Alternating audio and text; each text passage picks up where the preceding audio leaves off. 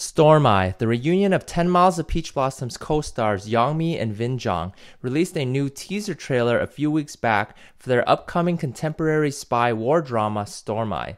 I typically don't pay as much attention to mainland modern dramas, but for this one, I surely will make an exception. I mean, come on, it's Yang Mi and Zhang Binbin. How many people out there had serious second lead syndrome watching Eternal Love and wanted the pair to end up together?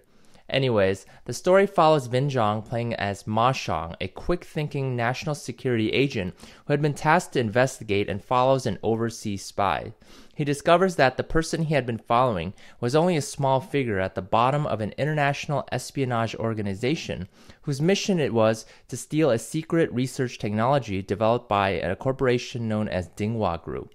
Having stumbled upon this fact, his agency joins forces with the City Bureau and forms an official investigation, codenamed Storm Eye. Yang Mi plays as An Jing, the intelligent and forward head of the reconnaissance department of the City Bureau, who is also a former fellow high school classmate of Ma Shang from 10 years prior. Together, the pair must join forces to get to the bottom of this conspiracy and wipe out the espionage group threatening the country. The teaser trailer looks quite exciting. I will link the full thing down in the video description below for you guys.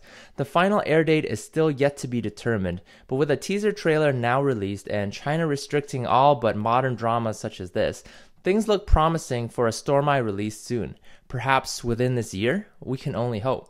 Let me know what you guys think of this drama down in the comments section below. That's all I have for you guys today. Thank you for joining me. Make sure to hit that subscribe button for more drama news updates in the future. My name is Anton. This is Asian Drama News, and I will see you guys in the next episode. Bye.